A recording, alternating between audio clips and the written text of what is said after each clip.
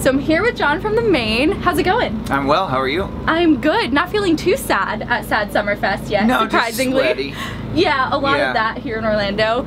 Um, but I wanted to talk to you a little bit about this festival because this was kind of the Maine's brainchild to start with. Yeah. Um, so that's no easy feat to start a festival. It's so, certainly not.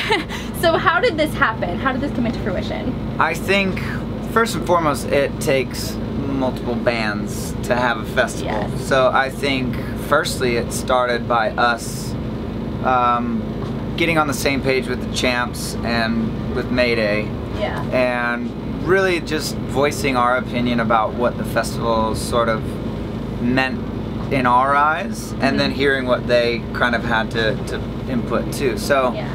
um, really I think what differs and makes this varied from other fests is, is that it's curated by the bands. Right. Um, and we, having put on a couple 8123 fests of our own Yes. back at home in Arizona, um, we felt like we've had a, an okay grasp on what it takes and, and sort of like, I think what we've really noticed on this run specifically is that the small little details go a long ways Yeah. for a lot of people. Um, so it's really about curating the day and making it feel like it's an experience just for the people that bought the tickets. Right. Um, and not really, it, it, it's all inclusive, but it's for specific people, you know? Yes. So I think, um, yeah, getting the bands involved and going from three bands to 10 Yeah. on some of these shows has been really insane. So it's been, uh, it's been a learning uh, process For even sure. before you know a lot of the planning um, but even with the first couple dates in, in texas so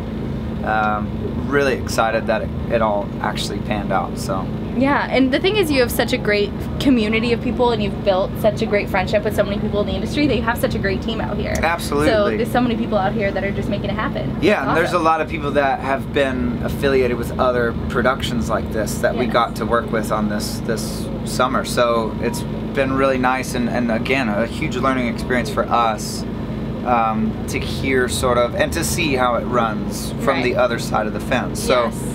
it's been nice it's been uh, definitely illuminating so we're having fun Yeah, for sure. And another thing too is that I know there's a lot of nonprofits out here, and the community is a really big aspect of it too, Mhm. um, which definitely sets it apart as well. right? Yeah, absolutely. Chelsea uh, Dunstall, that works for us and has worked with us for a long time, Yep. she has been really great about sort of jumping on that initiative and, Yes. and bringing people from the communities that we're playing in, um, bringing them in, making them feel a part of it, empowering the people that are coming to the shows to also give back and, and to be active and to get excited about being alive and being a part of something bigger than themselves. So. Yes. Shout out to Chelsea. She's Shout out to. Chelsea. Yes. And also shout outs while we're at it. Um, I would love for you to do the honors of plugging your new album. Tell us Yeah. a little bit about it super quick. Uh, you Are Okay is the title of the album. Yes. Uh, it's only been out for three months, which is crazy. We've Yeah. already done a lot of touring, but we have a lot of touring to do. Uh, thank you for your continued support. Thanks for listening. Yeah. That's kind of the only reason we can do it, so thank you. yeah, and it's already been so well loved. That is well, thank sure. you. Yeah, thank you. Another one in the books. There we go. Sweet. Well, everybody watching, make sure you check out Sad Summer Fest if you uh, are in any of the cities that it's coming to. Um, I'll leave a link down below. Yeah. Heck yeah. And uh, we'll see you soon. Peace. Peace.